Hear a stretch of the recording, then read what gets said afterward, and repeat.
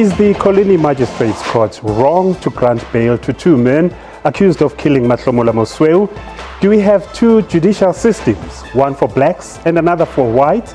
To what extent do attacks on journalists impact media freedom? What will it take to bring stability back to Coligny? What time is it? It's question time.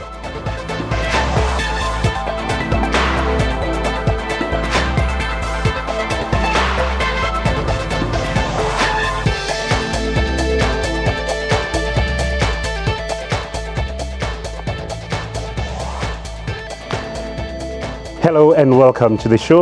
Your host is Bongi Kwala. In from Port Said today, chaos broke out in Coligny in the northwest yesterday after two white men accused of killing 16-year-old Matlhomola Mosweu were granted bail. The local community took to the streets after Pieter Dorva, uh, Doorewaard and Phillip Schutte were granted 5,000 rand bail each. Handing down his bail application judgment, Magistrate Makgaola Foso said the pair did not have any criminal records, adding that the court could not be held to ransom. A house belonging to a local farmer was set alight. Meanwhile, the South African National Editors Forum, SANEF, says journalists should be allowed to do their work without fear or favor. This after journalists were attacked in Coligny and Eldorado Park. In the latest developments, Northwest MEC for Safety Mpho Motlhabane says they would appeal the decision of the Coligny Magistrate Court, which granted bail to the two men. But which criteria are used to grant or deny bail. We are live, uh, therefore, to uh, our reporter there. But first, let's give us uh, your number, uh, or our number, in fact, 089 That's the number to call because we're live today. 089 um, let me get that number straight. 0891 110 That's the number. Otherwise, you can tweet us, our Twitter handle at Question Time 24. My guest in the studio today, Molatelo Mahapa from Mahapa Attorneys. Molatelo, good to be having you in studio. Same here. And uh, Katy Katopodis, uh, who is the Deputy Chairperson at the South African National Editors Forum. Good to have you as well. Thank you, Bongi. Lovely to be here. All right. Before we get to the discussion, let's cross to our reporter in the Northwest today, Josilense, uh, who is there to tell us more about what is uh, going on right now. Olobecheng, what's the latest? Good to be chatting to you.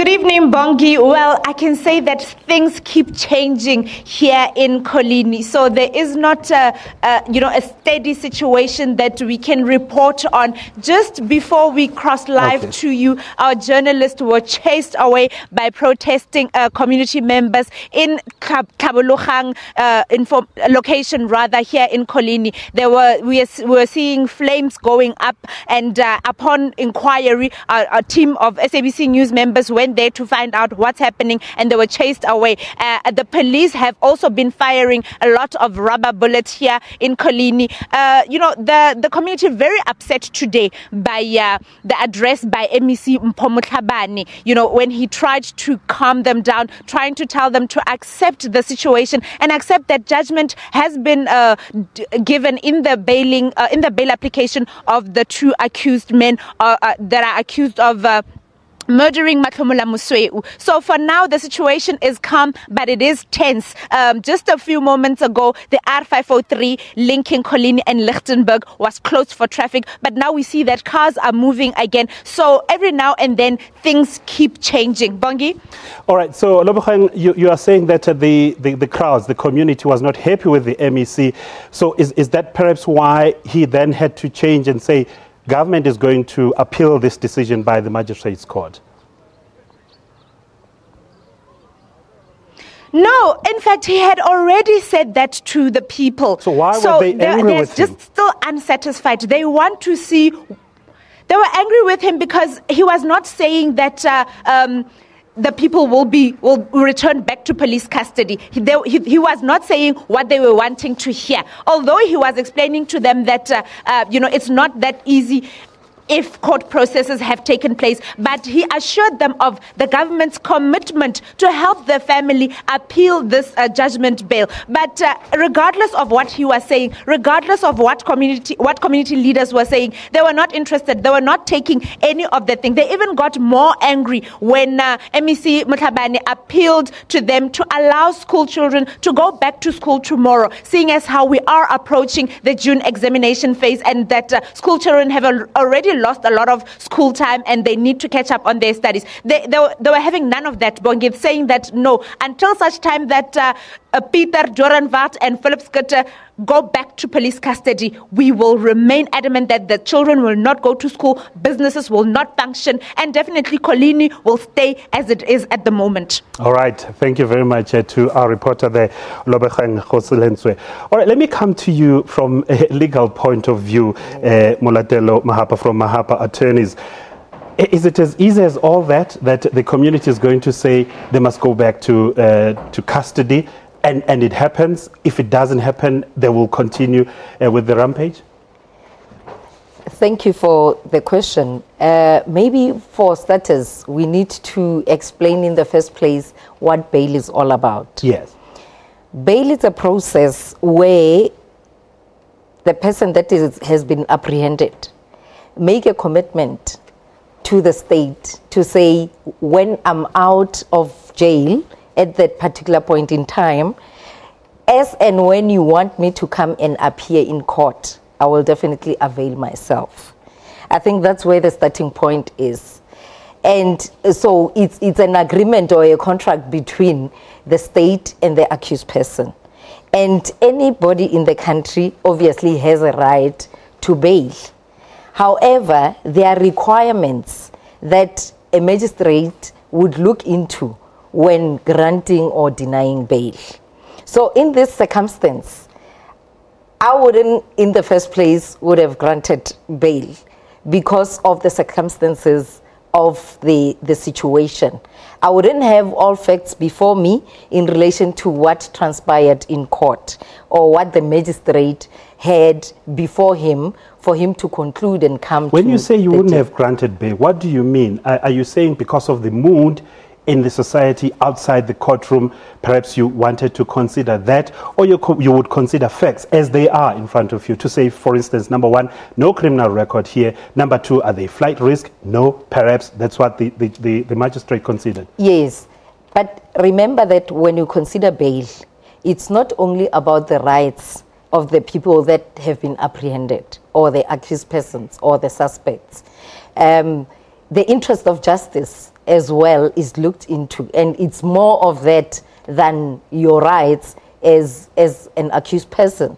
For instance, the magistrate would look at the, you know, uh, the offense that, that is allegedly uh, before him, and secondly, if the, the, the accused persons, by, by being released, they wouldn't cause harm to anyone, including witnesses, because there's a possibility that, given the, the characters of those particular people, if they are aggressive in nature, you are risking the witnesses or you are risking other people. It might be, in this case, the victim unfortunately has passed. I- i- In your view, has the magistrate not considered all those uh, probabilities before granting bail?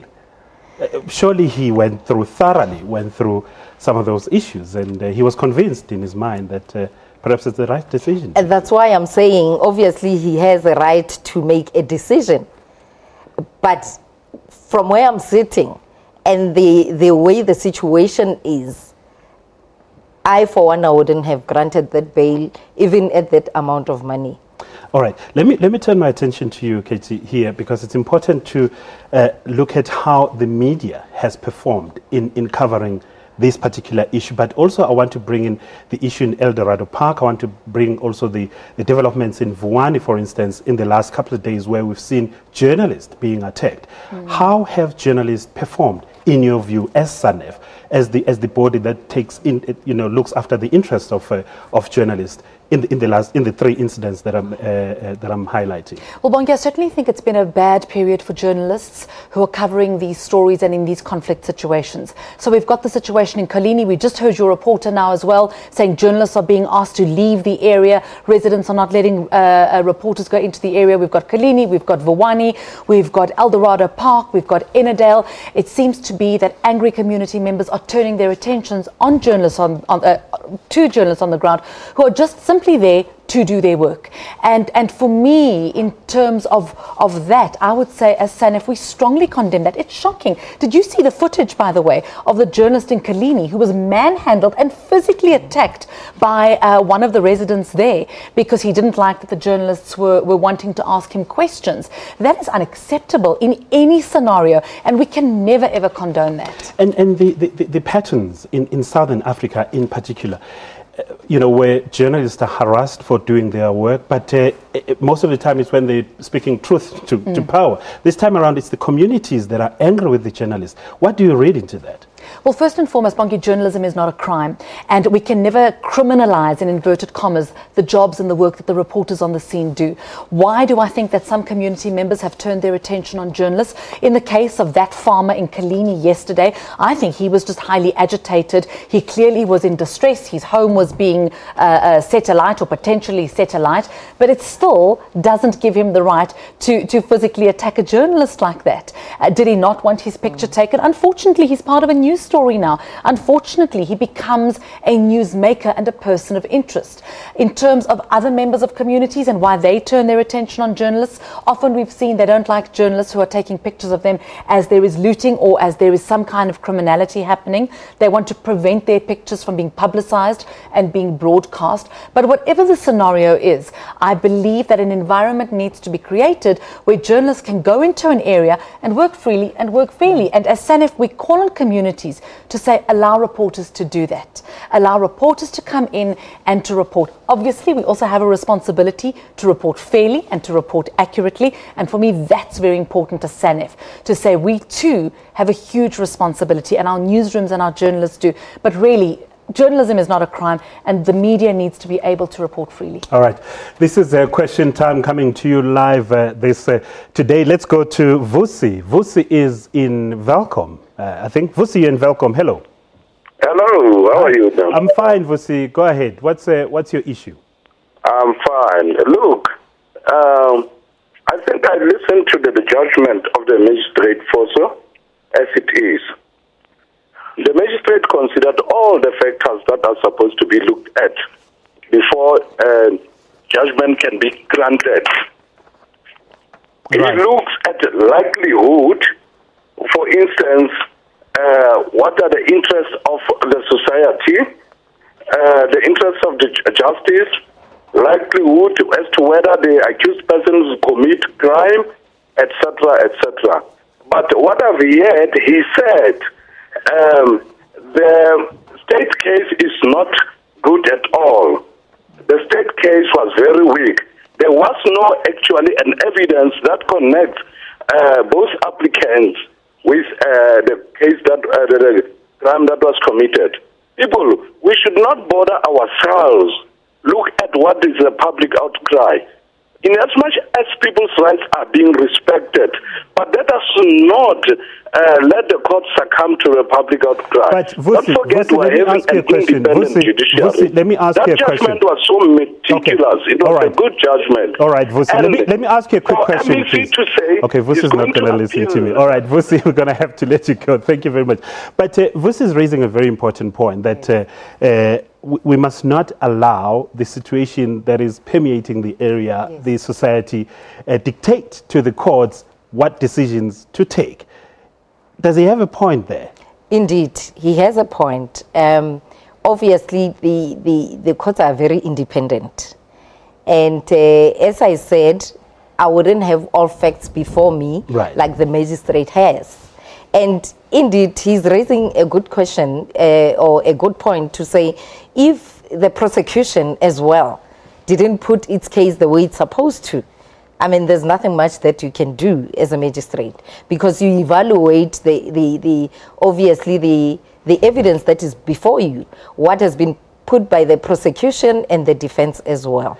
Right. Uh, before we go to Wiseman on the line, uh, Katy, let me let me bring you in here. I mean, if you look at the utterances by, by the leadership, I mean, I think the, the, the, the premier in, in the northwest, uh, Supra Mahumapelo, has been really dealing with this situation in, in the right way, so to speak. But if he says Coligny Tin died in the hands of Afrikaners, uh, suggesting that uh, you know he he was killed for racial reasons, is it is it correct to put it like that at a time like this when when the whole colony is burning? You know, I think race dynamics play an important part of who we are in South Africa at the moment, and we cannot ignore it. We cannot ignore the facts before us. Uh, so, was he right to speak in, in racial terms? I think the reality of the situation is that this has now become a story about race. It is a story about a black teenager, a 16 year old youth who died allegedly, according to witnesses, at the hands of two white But, but people when in the area. did it move from being initially, which is what we are not looking at right now, uh, initially and allegedly a criminal case where this farmer has the sunflower, uh, uh, you know, farm, and his sunflower gets stolen all the time. He puts money preparing, he, he expects certain returns, and he doesn't get those returns because sunflower is stolen. We're not, we're not talking about that. I've not seen any report that puts uh, emphasis on that. Because I don't think you can divorce the two. I don't think it's a matter of just a criminal case on the one side and race issues on the other. I think these are so blended because this is the narrative of South Africa at the moment and these are the realities that we are living in. This is the country at the moment. We also see stories, investigative pieces, reporters who've gone into Coligny and described the most horrendous scenarios. Scenarios where you would think you were back in 1982 in apartheid South Africa. And that becomes a part of the story. Unfortunately, it's not either or. You can't separate them, Bongi. All right, let's go back to the lines. Wiseman, you're in PE. Hello, Wisey. Good evening, Bongi, and good evening to your guest, my Go friend. ahead, sir. Uh, honestly, Bongi, I think there is a justice system for white people and a justice system for black people and a justice system for poor and the rich people. A arrested black student protester will go to court handcuffed and receive no bail. But a white man who kill an innocent child will go to court uncuffed and receive a lousy bail of 5,000 rand. Let me tell you a story. A, a, a former uh, president of South Africa, F.W. de Klerk, uh, his ex-wife was killed by a security. Uh, I think the guy was her security guard, but the evidence was the the only evidence found was the her cell phone, uh, the cell phone of the deceased was found with the security guard, but that guy was sentenced to life in prison. Let me tell you a fact now: if that guy well, killed a, a black woman, there was no going to be a such sentence. Or if that guy was a white man, there was no going to be a such sentence. Let me tell you a fact now. If Oscar Pistorius, Pistorius was a black man and killed Reeva Steenkamp, he was going to face a life sentence. That's how the justice system uh, works in South Africa. Okay, that Wiseman. is a brutally We got you. and honest truth. Thank you, Bongi. We got you. Thank you very much, Wiseman. Do we have two justice systems in South Africa? One that is for the white folk and one for the black folk. You, you work in courts. You, you should. You should uh, you I know that feel- we have one justice system. Yeah. The unfortunate part But is it interpreted in black and white? it, it becomes, you know, it gets to that point because when different cases are actually compared and, you know, they, some don't even make sense, as the, the caller has just said. Um, hence, when we started, I said, if I were the magistrate, I wouldn't even have granted, you know, bail at that amount of money given the situation that we have. So how do how do we move then beyond that? Bail has been granted, and uh, there is an uproar from from political leaders, from government, from the community. Also, nobody is happy. Well, except I guess for the two who've been released right now. So how do we move beyond that? Because we can't just leave the country and and and Coligny burning. Yes. Um, as I've heard that an appeal will be brought, I hope it will be brought. If not, remember that the bail application phase, it's not a trial. Um, it's not where you'll get all the evidence or, you know, have to hear in terms of what really transpired. I would say let's afford the, the system to take place at this, as it's supposed to, to take place. Because remember, the bail application phase, it's not there to actually punish anyone. Yeah. However, it is there just to say we confirm that as we want you to come and appear, you will come and appear in court. So, in your view, as this appeal is being made, do you think it needs to be revoked? The the bail that has been granted already, it needs to be uh, relooked at. Yes, if if if appeal is is actually granted, then yes. Um, for me, I would say the bail application be uh, or the order be be be revoked. Okay, let's go to Zeerust now, and uh, Serapello is uh, is on the line. Good to be chatting to you, Serapello. Hello. Thanks. Uh, um, I would like to know uh, to ask. Would it be possible for the court to reverse their decision looking at the situation right now, especially for, for the children, as uh, Olebucheng has just alluded that uh, it is time for examination or mid-year examination? Okay, good question. Thank you very much. I guess uh, this goes to you, uh, Molatelo, quickly. Do, do you think uh, it, it, it's, it's doable? But remember, as we indicated, that the, the, the courts will not make decisions because you know we have this uproar and they will have to consider all the facts. Okay. And as i said um, it has been indicated that obviously from the prosecution side probably the case was not you know put as it was supposed to. So even if it goes to for appeal all those factors will be looked at. If then it transpires that you know all the evidence in relation to the bail application required was put forth by the prosecution, then that, that could be reversed. Right, Katy, so how do we protect our journalists? How do we protect our journalists? First and foremost, it's safety. So we, we like to say to our, our newsroom, safety first, that's the most important thing. Secondly, we'd like to see police um, actually act when they see journalists are coming under fire. I think it's very important that the police intervene and they and they try as far as possible to protect uh, reporters. We also call on communities to say just allow journalists to do their jobs actually because that's the most important thing. And and any platforms for journalists to you know put their case if they feel they're not safe. Should they just leave and leave the story alone?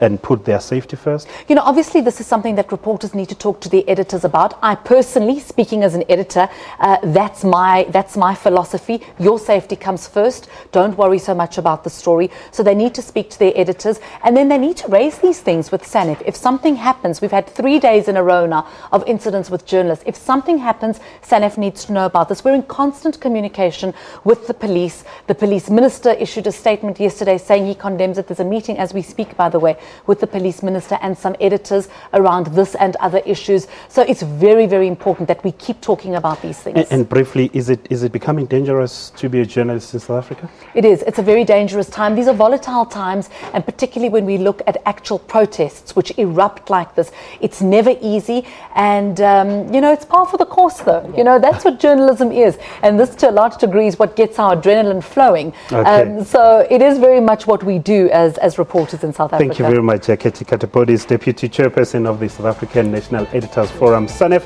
and uh, to you as well, uh, Molatelo Mahapa from uh, Mahapa Attorneys. Thank you very much. And that was uh, question time for today. A big thank you to my guest and uh, for you at home. Uh, to you at home rather for watching and of course uh, coming through. My name is Bongi Kwala. I was sitting in for Mpotse for tonight and good night.